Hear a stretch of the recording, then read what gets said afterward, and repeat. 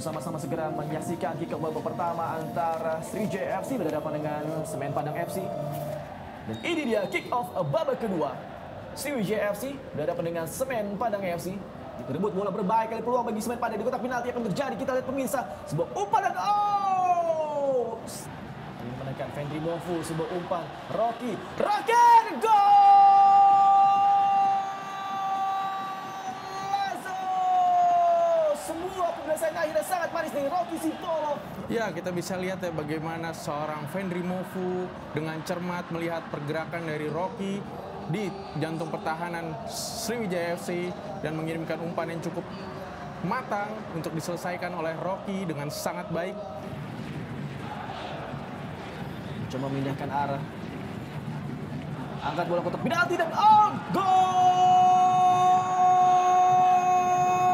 Lazo! Sebuah yang sangat mematikan dari Afriansa memanfaatkan umpan yang sangat matang. Langsung menusuk gawang dari Randy Oscario memberikan penyamak kedudukan bagi Sriwijaya FC. Satu-satu di babak kedua ini, Bung Waindo. Iya, kita bisa lihat bagaimana pergerakan dari Afriansyah yang sangat baik me- menyambut bola di depan gawang Semen Padang dan membuat Randy Oscario terlambat men- menyambut bola. 345 pemain. Swandi dan kita lihat apa terjadi. Karena Dedi Hartono, gol! Lazo! Sebuah skema yang sudah terlatih dari Sriwijaya FC berhasil memecahkan kebuntuan Setelah tadi berlari dan tepat menghujamkan bola dengan tanpa ragu-ragu, tendangan keras ini pemirsa.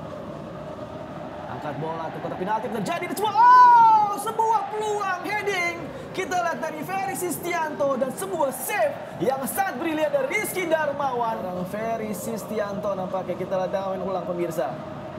Ya, sangat tajam menusuk dengan cepat namun reaksi refleks yang sangat baik dari Rizky Darmawan juga patut diapresiasi Bung Endo. Dan pemirsa, wasit Muhammad Kisvan mengakhiri pertandingan babak kedua sementara grup A dari Liga 2 2021.